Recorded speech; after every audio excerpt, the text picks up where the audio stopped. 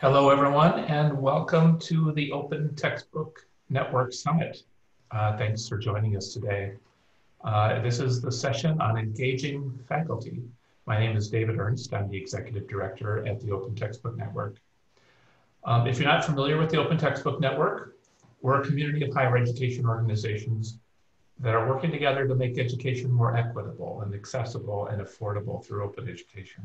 You can learn, learn more about us at open.umn.edu slash OTN.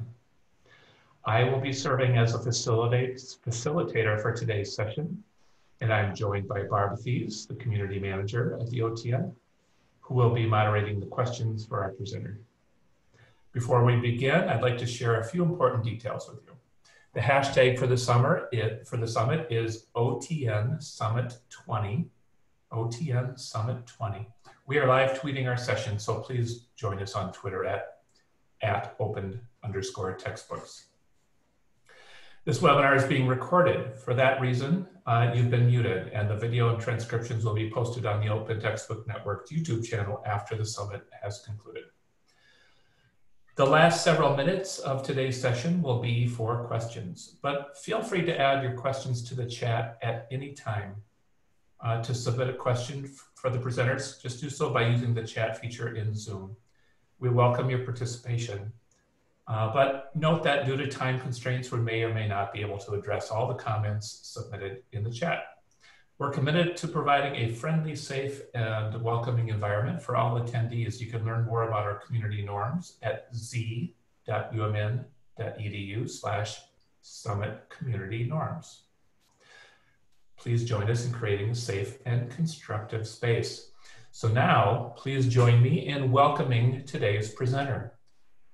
Rebel Cummings Sauls serves as the Director of Digital Services and Open Educational Resources for the Florida Academic Library uh, Services Cooperative. Ms. Cummings Sauls has more than 10 years of experience in higher education with over six years in academic research libraries.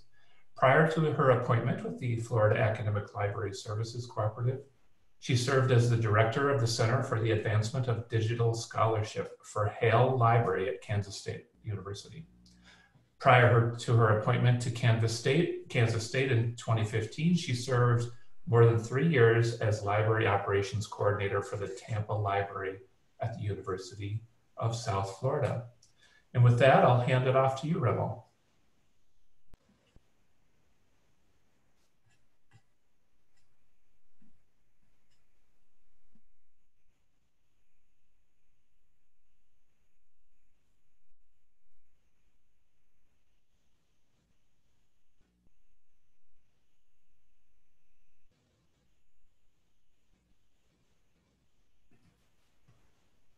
Okay, Rebel, are you there?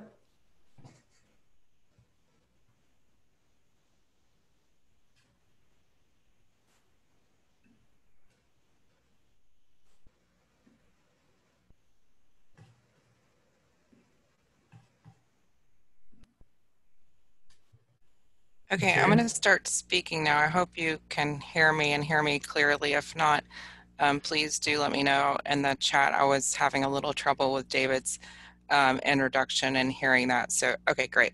Um, so, welcome. And today you are here for strategies for engaging faculty in open initiatives. So, um, I welcome you all and thank you for having me.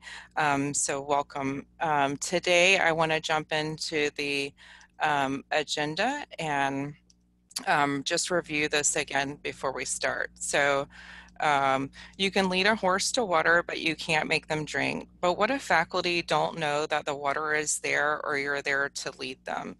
Attendees for this session will not only learn ways to help faculty find the open water, but hopefully entice them to take a sip. We will review a wide range of approaches that can scale, and you can decide to incorporate one or all into your local program. And I'm guessing you, I'm hoping you can see my slides because it shows you can. So um, the first thing I want to tell you is um, don't go alone. So even though you may be sitting alone um, at your home listening to this, or even as you go back to the office, you may feel that you are alone in this um, efforts on your campus. I want to um, tell you today that you're not alone. Um, as you can see with the participants here today, um, that there are several people around the state and nation who are interested in this topic as well and are here to communicate and support you in those efforts. So um, don't go alone. So the first thing I want to start with is building your web. And I've added some resources um, into the slides so you'll be able to see those. Um, so you can see those later um, when those are shared. But the first step is to assemble uh, allies. So um, you're going to look around and look at your campus and see who are um, who are what who is currently supporting faculty on campus? Um, how are they supporting them? What services and products are being offered to faculty, and where are those um, where are those located at? Um, you want to look at your current structure of your institution. Again, looking at the um, current organization. So that might even mean pulling out those org charts, going into your um, campus structure and looking at which departments are connected, who reports to who, and seeing what services and divisions and departments you actually have on your campus. So that's a great way um, to start to um, make those connections. And as you um, look at these current structures and you start to assemble your allies, hopefully you will begin to see the bridges and the connections between these um, partners, divisions, and departments on campuses and people even. So maybe your own personal connections and where you have people. If you do see connections and where those bridges are, you want to identify those. You want to go ahead and lay those out and say, these are bridges, these are bridges that exist. These are pathways that we already have for faculty engagement. Other ways you want to look at what are bridges that need to be built. So which bridges are there that you need to connect to? So there may be connections between a department and a and a division on campus that maybe you need to intersect with as well. So how do you, you need to mark that, right? Make that connection on your actual web and show that this is one that needs to still be built um, and what I'm telling you here is that not to do this in your head. I want you to actually draw this out and, and um, or either manually or in a digital form, whichever you work better with, and make this web map, right? I want you to put down people, departments, list names if you have them. If you don't, um, make an effort to find out and identify who those people are and, um, and where they're located and how you can connect with them. Also, I want to encourage you to look at state and national. So beyond your local environment, um, as you are here today, you have the Open Textbook Network, um, you have several um, state and national resources and communities that are there for you.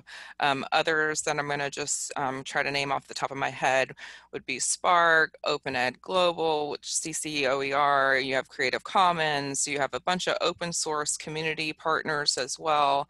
Um, the communities that build the open source software as well as some vendors um, and partners there who help support those can also be great um, members of your web and your community as you go forward. So, oops, sorry. Um, the next thing I want to ask you to do is to do a scan. And with this, I want you to do an environmental scan and there are different pieces of that. So we're gonna overview some of those pieces here. So um, here, I want you to think not just what is presently going on. So you're gonna look and see um, what activities surround open education or textbook affordability at your institution, but also what has happened in the past. So one of, um, one of the important things that I discovered at K State is that we had, you know, missed a whole department that had been actively working in OER um, when we first started our communications out on campus. And had I done a past scan as well as the present scan, I would know that they had um, actively communicated that out, maybe only once to the community, but had I done that scan, I would have been able to find that. I wouldn't have been able to engage them and there would, and I probably could have um, prevented some of those um, misconnections and miscommunication opportunities that um, we had in the beginning, sorry. Um, I also want to ask you to look um, externally, you might automatically think I'm going to go to Google and do a Google search, um, but I want to um, kind of push you beyond that um, to do advanced searches. So, you know, use your um, Boolean um, search techniques. And I'm sorry, I keep clicking on the slide. So use your um, search techniques, do those advanced searches and dig into that. But not only um, a Google search, but what are other areas that you can look at? So indexes for open access, um, journals and books and look at those, see, see what are connections to your campus. Um, also, I would encourage you to do internal scans. So looking at your own website, often um, we found that the internal website is actually not crawled and indexed by Google. So if you're just doing external searches, you're not finding a lot of that rich um, internal information um, and could be missing um, some of those connections again and collaboration opportunities for engagement. Um, I also want to um, encourage you to look at your own local catalog and the um, WorldCat for any potential um, author publications of open textbooks um, that may have been from faculty at your institution.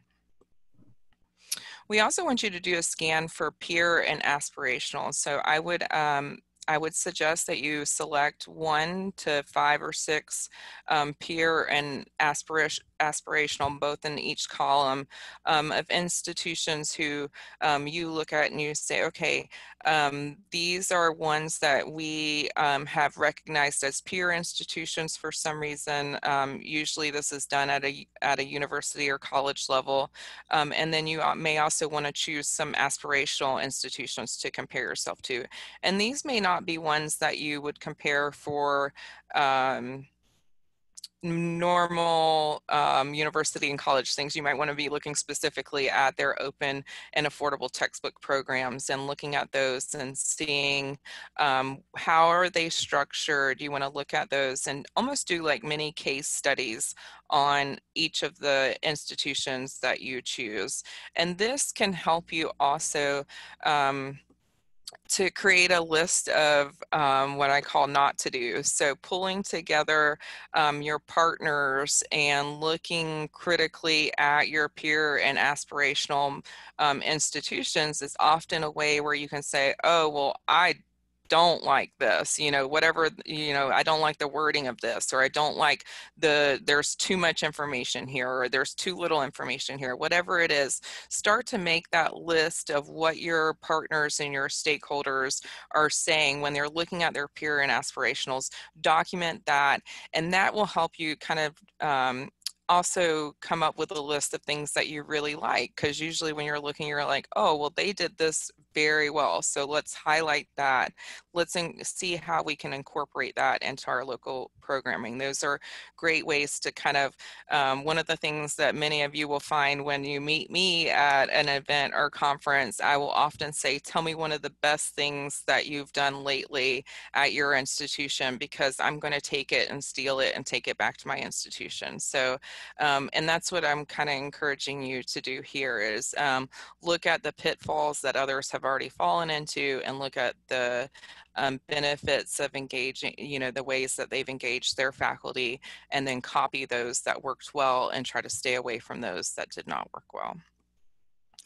Another thing that's really important to your scan and one of the things that you might start with or end with is the cultural and climate checks. So one of the thing ways that you can do this um, is just by um, looking at common uh, or repeated keywords or keyword phrases that are used in marketing and in speech deliveries by um, your faculty or admin. So um, with that are directed for faculty engagement. So if they're using common words like um, global knowledge bank. You might want to incorporate that into yours. Um, into your efforts of engagement. If they're thinking more about um, local impact, you're going to want to maybe um, look at your wording and see um, maybe you want to remove you know information that targets more of global and you know incorporate more of that local um, language and local impact local stories. So um, culture and climate check is really important for in that engagement piece because if you're engaging them in a different um, in a different uh, manner than they're you know wanting to be received then that could be um, offline. Off also if you're um, using uh, the same kind of keywords or engagement strategies that admin is using or some that they're responding well to then that might also be a way for them to say oh well this is a way that it connects with a message that i'm already seeing on campus so um, again, don't go it alone. Um, why do you you can't go it alone? So you need partners. Um, so look now at your current connections. Who do you already know? Who are your friends? Who are your friends with benefits? Who are you know? Where are um, people that report to you or report through you or or somehow lean through your services or products in order to get their job done? So document those connections and um, and list them out. Um, another important step in, with partners, um, and I'm sorry, I should explain the images on the first. So the uh, the left um, side is all starting line, and the right side are for those of you who have had a Red Bull or maybe more um, further into your program. So I'm going to start with the left side and then work into the to the right. So I want you to start by listening and learning. This is what I did. You know, find your commonalities. Um, you um, it's hard to find commonalities by telling people what you want. Um, so the first thing I do is I go, I listen, I learn about them, I learn about how we could possibly connect and how we could support each other going forward. Um, something that you've heard maybe Sarah speak of is the power of three. So just finding three, maybe three new connections, you know, not trying to um, hit out to the whole world, but find three people that you can really connect well with um, and, and engage with. Um, also looking at the shared services and products on campuses. So who are already engaging faculty on your campuses? What, um, what are those services? What are those products? And do any of those relate to open education, textbook affordability? And that could be on multiple layers with either adoption, adaption, creation, or delivery. Um, another thing that I did with my partners is um, meet with them, um, communicate regularly. So I actually scheduled um, semesterly meetings with the shared services and products. So those areas that I identified that also were actively engaging faculty in the ways that I wanted to engage faculty, um, I said, hey, can we meet um, start just 15 minutes, you know, for that listen and learn intro. And then um, once they, once I got a foot in the door, say, hey, you know, this was a really excellent meeting. Can we, do you mind if we meet again next semester um, towards the end or beginning or middle, you know, whatever works best for you and pick a time and go ahead and get that locked into your, into their calendars. The earlier you can get locked into the calendars, um, the easier it is to keep that consistent meeting as well. So after you've started a little bit with your partners, you want to um, build on those partnerships, right? So you want to go from your connections to your connections connections. So um, find out who they know, who do they um, trust on campus, who do they speak with, who do they partner with. Can you also engage with those people in order to engage the audience, the faculty audience that you're trying to target? You're going to move from a listen and learn stage into an ask and explore. So by this time, hopefully you know a little bit about the partner, you know how you may work together, you've had some conversations before, you have some shared commonalities and understanding. So this is a way for you to say, okay, well now um, I've identified this, or hopefully as you may find, um, as I did, they will ask actually start the ask and explore so they can say hey you know we've talked about this area here. Do you think we could do blah? And i say yes that's an excellent idea. Thank you. You know and, and jump on board. So um, this also might be a time um, after you've established connections to start thinking about what new services or products might be needed on your campus in order to support the faculty um, in order to have successful oer um, creation and adoption this also is a time to actively seek new opportunities. So after you've grown and you've made solid connections um, with those who you know and know well, um, you want to start to seek out new opportunities. So you've done this great work. You probably have a great program. So one of the things I want to tell you to do is go tell it. Go tell it, right? I've heard you, sure I did the dot dot dot because I'm sure you've heard a song similar to this before. Um, but go tell it on the mountain, go tell it on the rooftops, go tell it everywhere, right? Um, but one of the things that I did um, with the promo or promotion and marketing and branding is create an actual branding. So create a logo or um, symbol that faculty, every time they see it, they instantly think, oh, this is a connection to open, this is a connection to affordable. You want to start by working within your um, your area communication and marketing channels. So um, if you're in the library, work within the library communication and marketing channels. If you're instructional designers, you'll work within those channels. Um, add content to your site page. So um, you often will be doing great things, but then fail to add it even to your own site page. So don't forget um, to add that information there. Um, talk about what you're doing. And um, if you don't have a page, add a page um, about your work. And also try to incorporate into your larger unit or department's page. See if there's um, website space or um, um, connections that you might be able to make with different departments um, uh, within your area or college that might be able to support your efforts.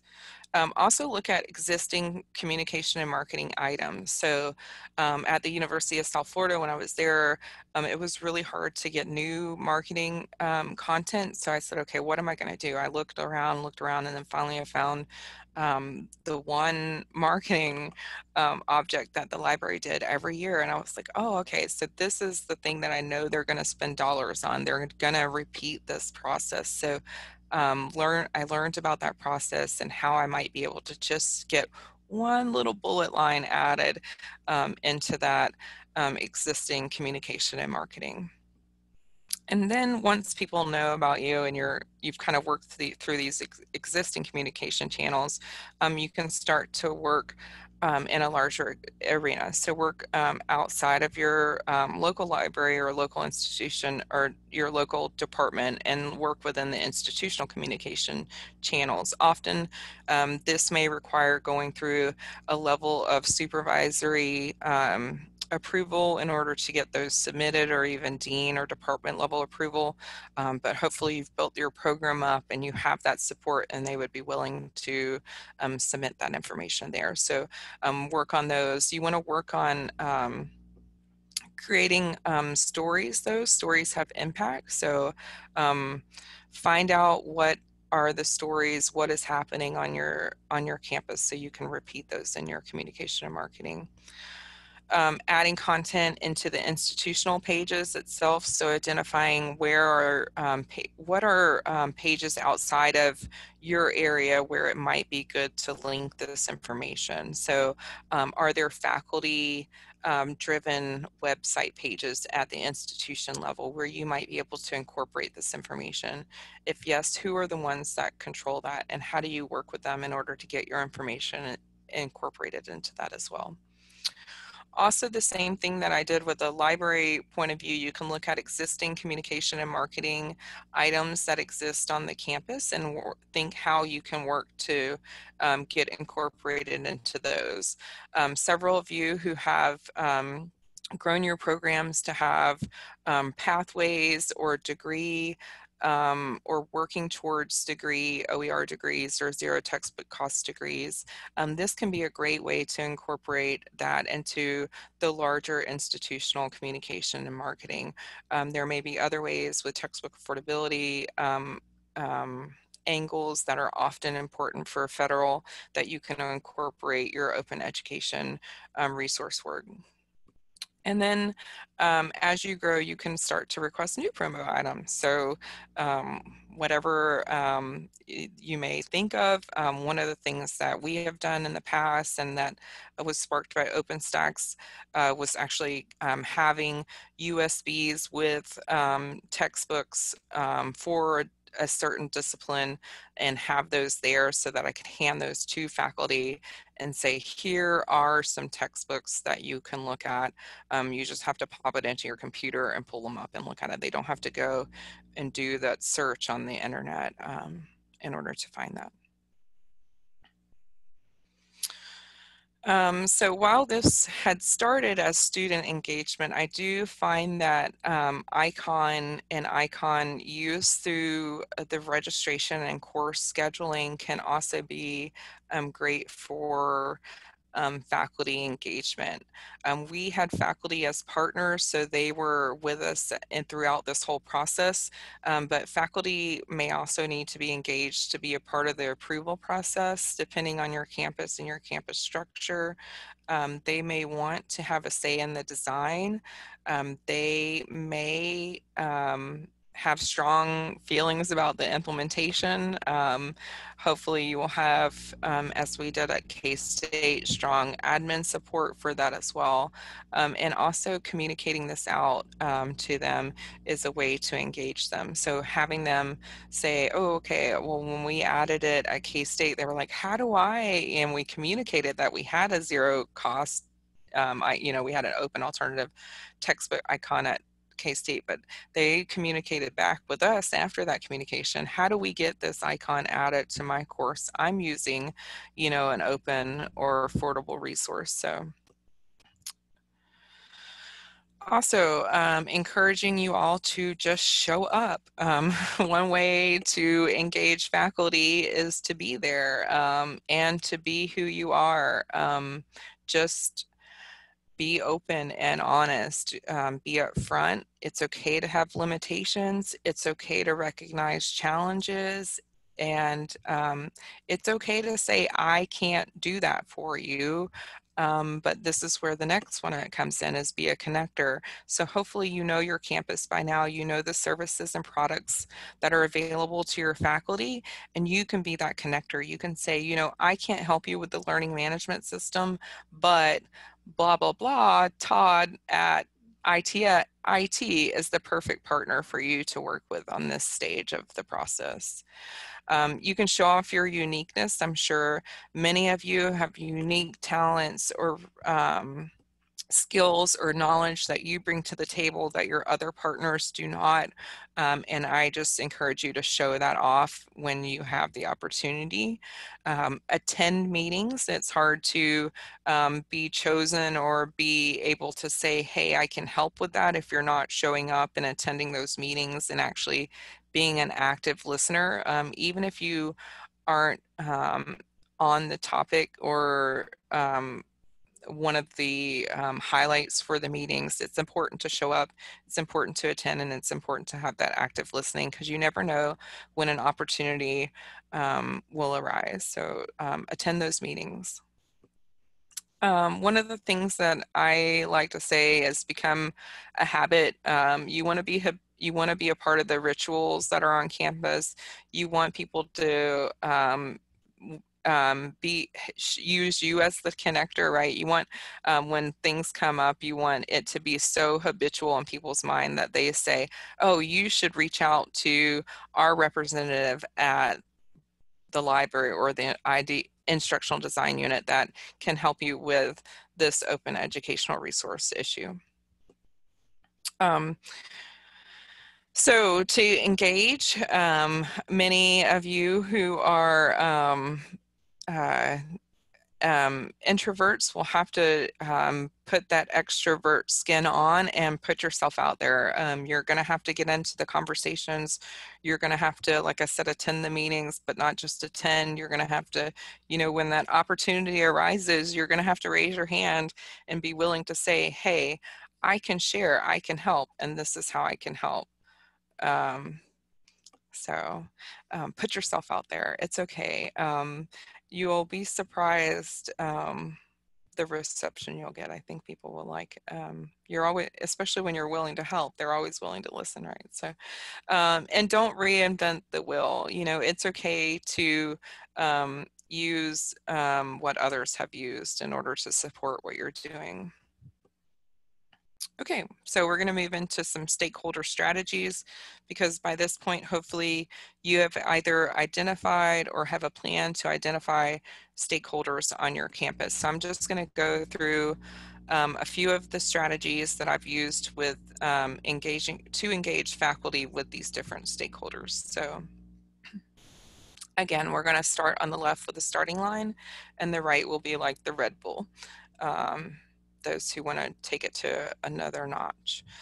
Um, so with admin, it's important to just for them to have an awareness. Um, so it's important for them when someone says, "Oh, we're doing open alternative or open uh, textbook network um, faculty workshop on their campus our campus for them to say who um, that's not great right? So we want them to have an awareness for eh, them and they may not be able to say oh yeah they run the open textbook library that has over what 700 books in it. They may not have that level of awareness but they shouldn't be questioning who or why or what you're doing on campus. They should have a level of awareness of what is going on so that when faculty say, Did you know about this to an admin? They can say, Yeah, I know. Yeah, I know about that. Uh huh. Um, you also want to make sure that they know the main highlights. And when I say main, I mean main, like one to three highlights. Um, admin, admin levels, they're not going to remember anything more than that. They have so many people coming at them with so many things. Um, this is also true for student government um, association leaders, um, but really stick to those main highlights. What are, if they had to repeat something out of their mouth, what is the one thing that you would want them to be able to re- regurgitate back to an audience and make sure um, that they know that? They also, um, twofold, they can help you identify the influencers for faculty. So they may be able to tell you, you know what, um, the the deans and the department heads of that of the of this university or this college if they say something it everybody is going to listen to them. And then another university or college they may say you know what if they're if the research and strategic office says this is a great idea everybody in the whole university is going to your college is going to be doing it so um, they can help you identify influencers and they can also um, you want to be identifying the influencers for admin so that you can help um, um help through, through their influencers push that message and that awareness level to them as well. And then kicking it up a notch, you can actually turn admin into advocacies and, and um, I would say at the sponsor level so that they're aware of it, they have the main highlights and they can actually actively talk about um, your program and some of the conversations that are happening on campus. Um, you want them to be able to actually receive your full report and hopefully read it. So you want to um, have that uh, level of engagement with them um, where they would actually know what's happening in that because if they are apt to receive that and um, and have it, then the faculty, then they usually have that um, put out to the faculty in some way. So that engagement um, for the fa- the admin pushing that out to them. And the admin also may also have tools for faculty engagement that you may not be aware of. They may have hidden. So working with them to find out what those admin tools are and how you can use those to engage faculty. Moving on, we want to move to students. Um, this is a great stakeholder to work with, um, specifically starting at the student government um, level. The student government leaders are great um, to, um, again, at least be sponsors or have an awareness or advocacy for um, your program and your efforts. You want them to at least um, know that what you're doing on campus, um, even if they are not running um, maybe for a platform for that. Um, one of the things that you can get state students to do that sometimes um, gets faculty attention is a statement of support. So the students can actually put out a statement of support for open and alternative open educational resources. and also inviting the students to be part of the textbook grant review process turned out to be a faculty engagement um, tool. So them seeing that students were engaged in that process helped them to have trust, I think, in that process. Um, also going past student governments, there's clubs and more. So many times like the graduate office or honors office on your campus will have a list of those. So work with them to reach out to those. Um, oftentimes they have a faculty partner who or faculty mentor for each of those clubs. So you can um, engage at that level through those clubs with those faculty. Um, students can then go past the statement of support and pass the resolution. Sometimes this can have a, bi- a bigger bite with faculty and actually um, um, maybe even if it's just a checkbox on their form that they go through for their course and that says that they have to say they've considered an open um, educational resources before they choose a commercial textbook. Something of that stance could be like a resolution that a student could do that could um, help with faculty engagement because that's another form that the faculty do in a habitual ritual process every semester they're having to complete that so it's something that they're touching every every year um, the student government may also run on a stance or a strategy um, for open educational resources. So we had this happen at K-State and happen on multiple years actually. And one um, of the student government leaders ran, um, won on that open um, textbook platform. So that was huge because that whole time of their leadership, they were actively engaging the faculty and leadership on um, encouraging the use of open educational resources. And you can also um, have student direct faculty, student direct to faculty engagement and outreach. So they can personally reach out to their faculty members and ask them to use open educational resources. So as a library, um, if these aren't, if this is not where you work or if this is where you're located, um, these can be great stakeholders um, for engaging faculty. So one of the things that they can do is collect data on um, the textbooks. They can collect data on the student um, questions at the circulation desk. How many students even come and ask, do you have my textbook here? Um, they can add markings into the catalog. So we, um, as the library um, admin, control the catalog that you know supports this. So you can add a marking into the library catalog that shows what is an open educational resource.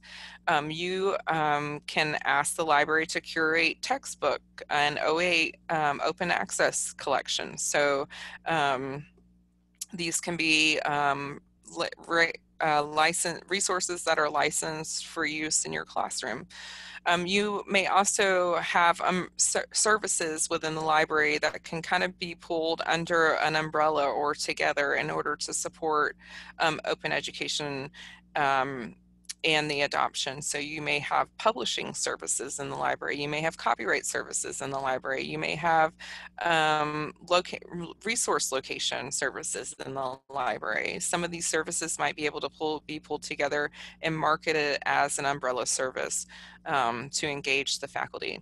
A simple thing that many of us do is just providing that LibGuide or web page. So um, you'll find um, several examples of those across the nation. So you could also um, have a LibGuide that's specifically geared um, to faculty um, for faculty engagement. And I just have to say, um, we had the same information on our library page and our web page, our open alternative page, but it wasn't until we pulled that information out to a tab that said for faculty did we some, suddenly start to get faculty engagement through that um, tab. So we had a for student tab and we had a for faculty tab and that really helped with that faculty engagement and i'm not it was the same exact information we had on the web page before but when we specifically labeled it for faculty engagement somehow that really drove them to that page and and had them reading that and communicating back information off of that page so that was great.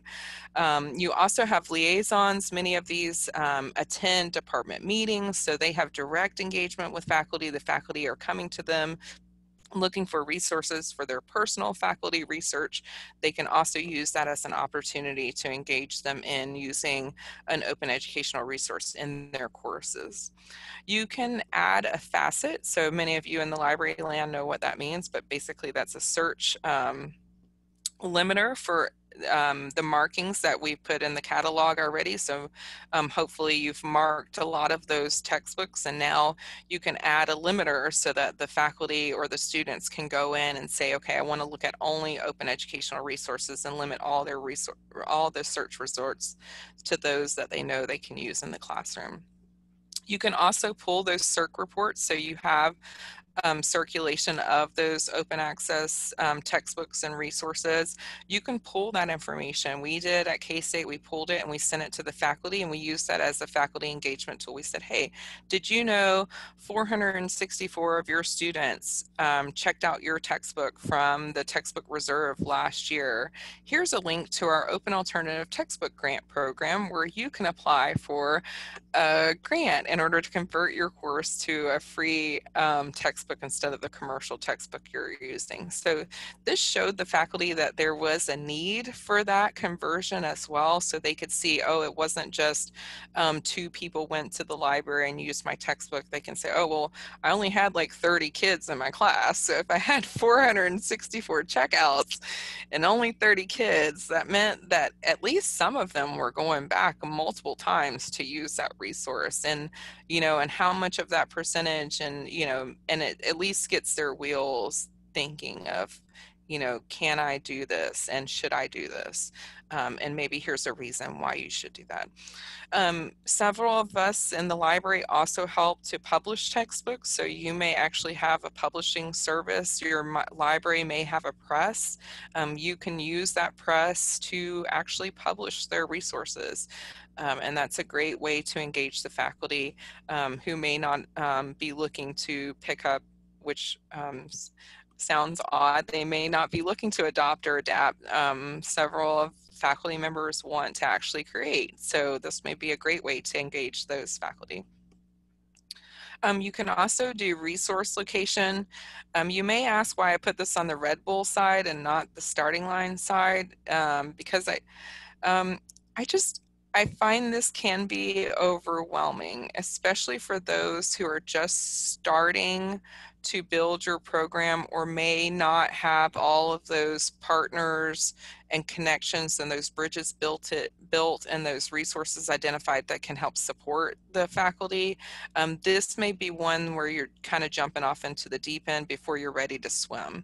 So that's why i put it onto the red bull side because um, before you really start to promote that resource location as an engagement tool for the faculty you want to make sure that you're prepared for that. You want to make sure that your liaisons and members of your library um, staff, your circulation. You know, we had to do student engagement um, because we had students working at the front desk. So there was a lot of engagement that had to happen before we could really promote, hey, we could actually help you find um, a resource for that class. Um, plus, as um, Dave and Tanya and Sarah said, you know, it's up to the faculty to kind of decide that content. So um, sometimes this might be a last step for um, well, they may not be going out there and finding that content on their own. So this may be a way to encourage them to at least take a look.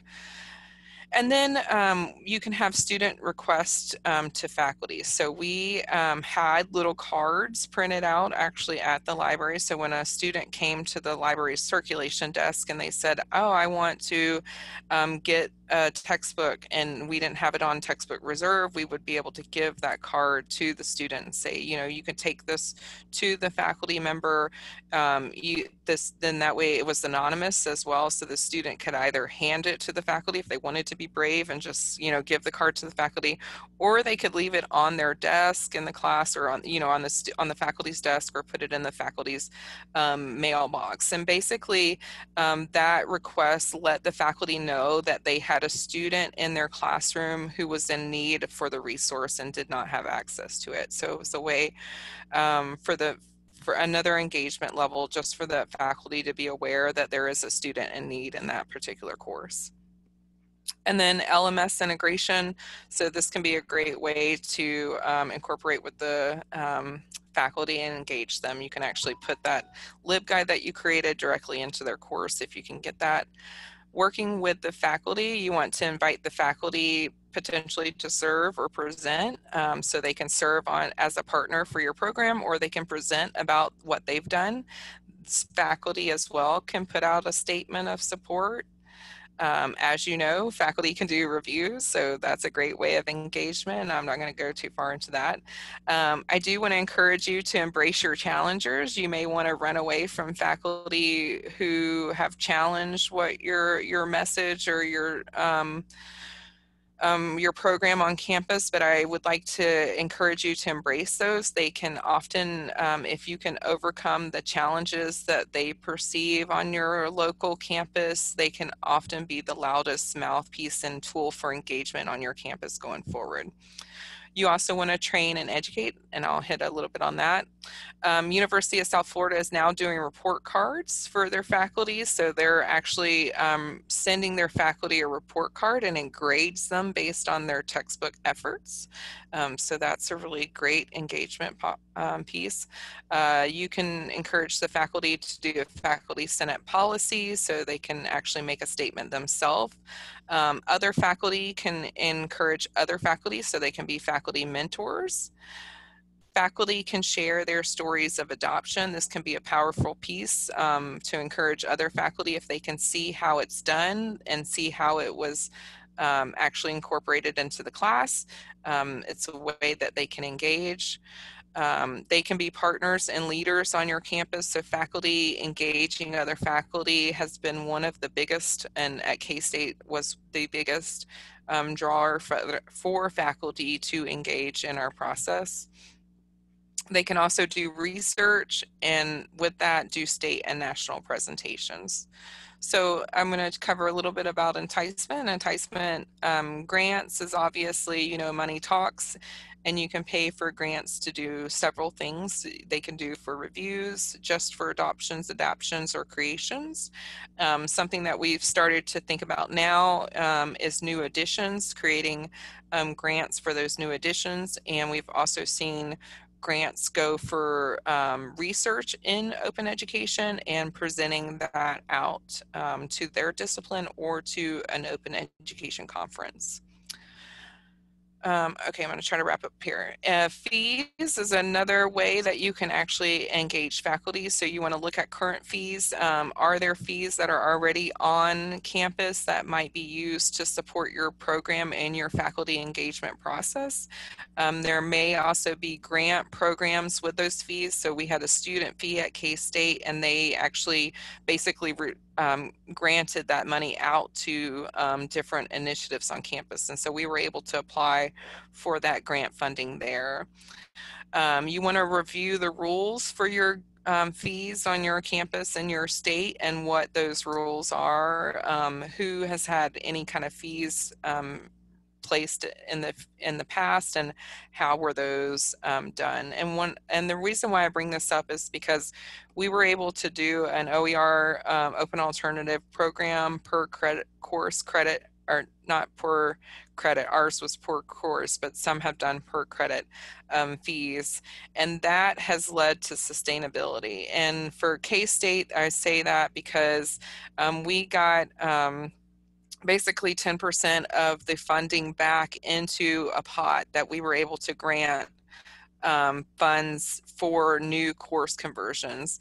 The other 90% went to the department, and we only told them to use it as their policies, as the university policies had governed. And um, it you know, so it kept courses with open education resources. So courses that might have tried out an open education resource and then maybe flipped back to a commercial because a new faculty member maybe came in or it was a TA or or something happened. It encouraged that faculty member to make a stronger look at that um, that program, especially in the um, in budget you know tensions and times when the when that faculty member is able to support the department through the use of these resources and that can be then used to um, better those courses and make that student engagement um, richer and more fulfilling. So one of the departments at k-state said the first thing they were going to buy was this microscope. These students kept saying they didn't have access to because it was the one thing they needed in order to get jobs. And so they were going to be able to help their students um, get jobs. So it was a way for them. Um, research tenure promotion, I linked to a guide there, but basically here you can publish and present. The, you can do course research um, to engage your faculty. You want to highlight their success. You want to do awards and events. Um, we mentioned this earlier, report on the findings and the outcomes. Um, we've had some, one locally um, in Florida, add OER publishing to tenure and promotion guidelines. So having that as a direct um, statement in their tenure and promotion guidelines is great. Um, and then doing research as an institution as a whole. So if you have that student marker, that icon, that can be a way to lead to some of that longitudinal data that you can um, start to do those institutional research. And we've also seen um, endowments and even promotions um, through open education use. So that can be a great way to engage faculty. And then training, we mentioned this a little earlier, copyright and Creative Commons is a great way, mainly through author rights. So engaging that faculty in taking a stance over their author rights is a great way um, to get them engaged. You've seen the faculty workshop.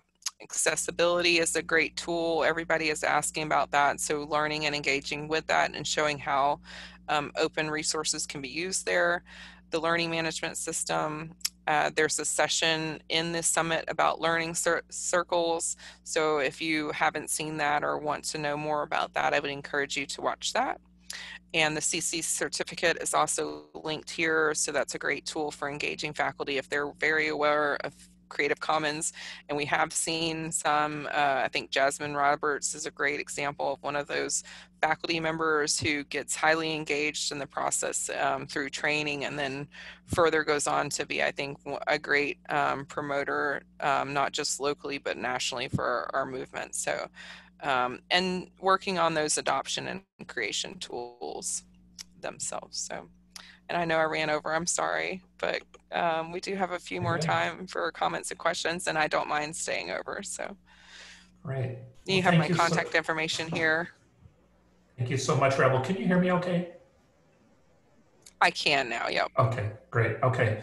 Um, awesome. Thank you so much. I just, before I uh, open it up to, uh, to questions, I just want to say that I really just love your approach which is networking. I mean, that's what you talked about most of this time was just like how to have those connections so that you can you can do what you said on one side, which is just it allows you to be open and honest about what you can do and can't do, and then you're the connector. So anyway, I just really love that approach. So thank you so much for your comments here. Um, I'll open it up then to questions, and you have two options if you want to ask questions. You can type the question into the chat. I will read it off. That would be great. If, on the other hand, you would rather unmute yourself, I would ask you to uh, maybe raise your hand, do the little hand raising thing, um, and I will call on you so we don't have too many going on at once. I will say that um, there was one comment uh, during your presentation, Rebel, that was Amy Malm when you talked about the introvert needing to put on kind of the face of an extrovert she said, yes, just thinking that exact thing, introvert freak out, she said. Yeah, it can be hard, but it's important. I think, um, and you don't have to do it all the time. It's just when that opportunity arises. Right. Joe, you have a question. Yeah, thank you. A uh, quick question. You had one little point about report cards with faculty. Could you clarify that or expand on it? Thank you. Yes, so this was not my idea, but I told Alex last week I was totally going to steal it. Um, so um, at the University of South Florida, they are putting together a report card for each faculty member. Um, so the faculty member, um, they do an excellent job in tracking um, textbook adoption there. So they're able to determine um, if the faculty reported on time their textbook selection, what faculty, what textbook selection they chose. So they are able to rate basically whether it's a commercial or open textbook and how much money that's costing the students. Um, there um, I have to pull the report card to actually see all the assessments, but basically it runs down um, all the different factors on the textbook affordability. They take it from a textbook affordability aspect, um, but they run down all those different factors and it kind of lets the um, faculty know whether or not they're meeting the expectations of the university or not. Um, and so that's uh, um, it's been a great tool and they incorporate that. They actually, I didn't add this, but they um, actually have an assessment dashboard. So for textbook affordability that you can go to their website and view University of South Florida, the textbook affordability program tab. Um, and they have an, a data dashboard, an assessment dashboard for textbook affordability where you can go in the depart and they have this set up where the department heads can go in and actually look at their faculty's assessment and their department's assessment, how they're doing, where they could be doing better. Um, and it gives a, a, lot of great information for that. Um, and we have to report on textbook affordability as a um, as a state. So um, so that's um, so that's one of the been one of the drivers for that for our state is that they actually have to report that to the BOG. Thank you. Uh, we have a question in the chat from Janelle Wurzberger who asks, could you say more about the little card that students can leave with the professor to let them know they can't access the books? Is it anonymous? So um, we, um, so there's two, it can be anonymous or it can, so the student can either choose to give that to the faculty um, themselves. They can choose to take that card and take it to the faculty and hand it to the faculty.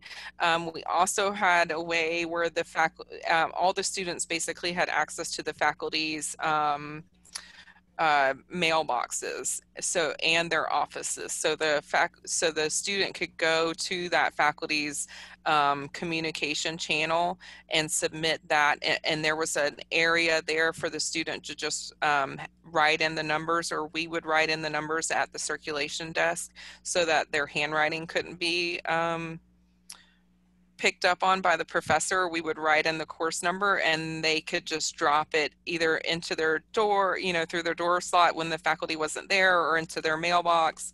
Um, and, or um, we also started to, um, when you know, we, we honestly didn't get enough of the students picking up the cards for us to have a high enough level of faculty engagement there that we wanted. So our circ desk took it to one step further and they started emailing the faculty member, which I, you know, I set up a, we set it up together, but basically when the student came up, regardless of whether or not they took the card, we sent an anonymous notification to the faculty member and let them know you had a student who was looking for resources for your course and did not have the ability to to have those. So um, so that and that did that was a great um, engagement tool. Thank you. But some of the students were bold. They just walked right up to the faculty and they just said, you know, I'm going to hand, I just handed it right to them. You know, they need to know, you know, who, you know, basically they were like, they need to know that, you know, I'm a, I'm a person and that this isn't just being dropped in there, you know, whatever by some, you know, that I'm, you know, and that I have real needs and I'm, you know, so. Do you know, Rebel, what kind of response they got from instructors? Did you, did you ever hear back about that? So I know that we had some conversions based on it. Uh-huh. So I didn't hear um, all the things, but I do know that we had course conversions based on um, those those engagements through that circ process. Um, we had faculty who who actively said, you know, I got this, and I I started thinking, wow, you know, this many students, you know, or I really have a need. And um, yeah, another one that I didn't put on here was um, data that we had actually gotten from our student um, um, advisory group. They do an exit survey for the students and pulling student data from that. So we were able to pull in that one out of every four students at an ag university struggled to feed themselves at least once a week. Um, Mhm. We were able to pull that the highest need was a, a short term $400 loan for three months in order, and the stated reason was so that they could get to the next semester. So we were able to show the faculty that, you know, their efforts meant the students were enrolling in the next semester. Okay, thank you. I think we are at time. Rebel, I want to At thank time. you so much again. Yep, thank you. Um, we really appreciate your sharing your expertise with us today. And audience, thank you for joining us. And we want to remind you that today's webinar has been recorded and we'll share it in the coming weeks. You can subscribe to the YouTube channel to receive a notification if you want to when it's up. Uh, slides will also be linked as well. Uh, the session also is live tweeted, so feel free to check out the summit hashtag OTN Summit 20. Keep the conversation going. Uh, and if you're an OTN member, you can also uh, continue the conversation in our OTN Google group. So thank you everyone for uh, joining us today. Take care.